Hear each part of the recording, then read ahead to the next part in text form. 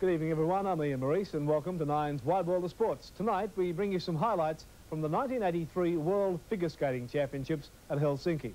First up, it's pairs, and then it's the men's in the free program routines. Your commentators are Dick Stockton and John Petkevich.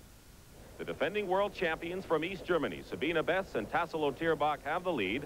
Valova and Vasiliev of the Soviet Union are in second place. The Canadian pair of Underhill and Martini are in third. Another Russian pair, Pestova and Leonovich, are in fourth, and the Carruthers, of course, are in fifth place right now. Kitty and Peter Carruthers of the United States, this is their moment. Fifth place coming into the climactic free skating and looking for that medal. Kitty and Peter are going to have to skate a superb performance, Dick. They're a dynamic and vibrant couple. Their skating has a warmth about it that just makes you involved in it.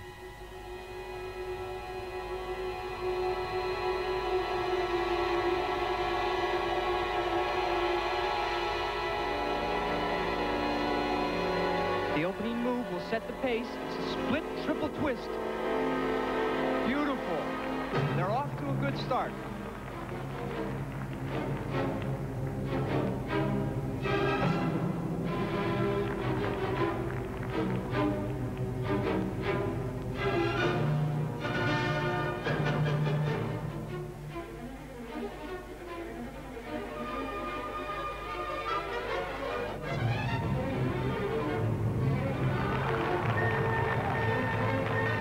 Coming up is the next big test for them, a throw triple Salchow.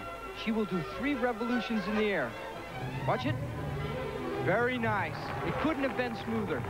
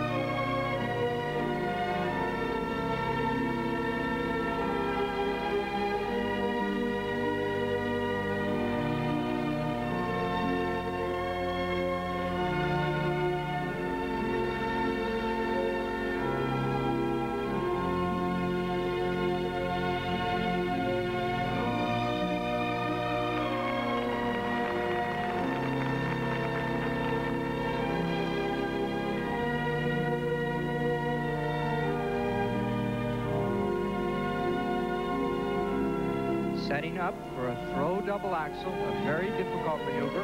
Nice takeoff, little trouble on the landing. It may not be too critical. It just depends how the judges view that particular slip.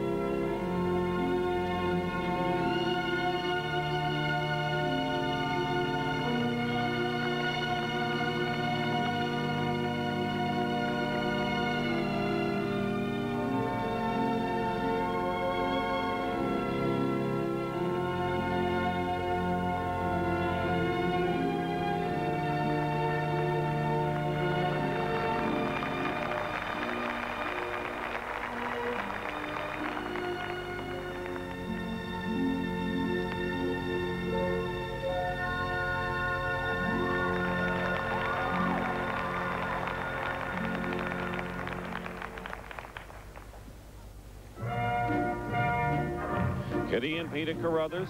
This is the World Championship. And they have their work cut out for them. They were not disappointed with their short program, but they were disappointed with the marks they got. Trying to climb from fifth place.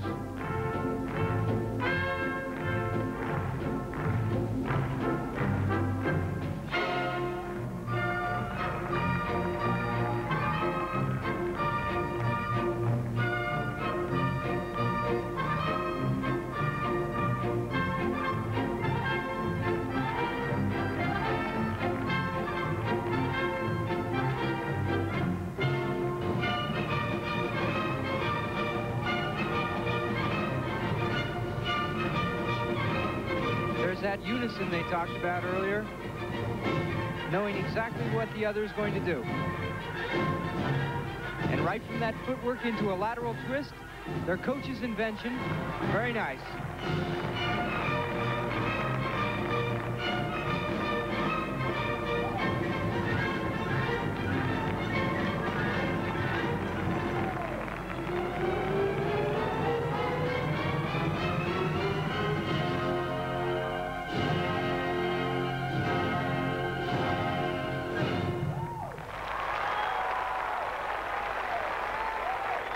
Kitty and Peter Carruthers, bronze medalist last year, trying to climb from fifth, and they know it's not going to be easy.